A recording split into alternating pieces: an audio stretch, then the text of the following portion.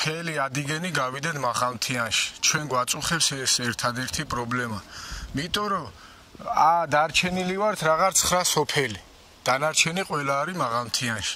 ყველას მიუმართეთ აბსოლუტურად, მაგრამ ვიპასუხა ჩვენ კანდიდატმა, რომ იქნება ეგ პრობლემა მოგვარებული. მაღალთიანობა არა გვაქვს. სხვა ყველაფერი გვაქვს, აი თუ იშრომებ და იწვალეთ, რაღაც კრიტერიუმებს უნდა ექვემდებარებოდესო და არ ექვემდებარება, ალბათ რომ არა ვართ მაღალთიანში.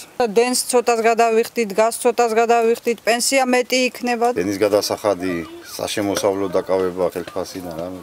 ეგ რამეში.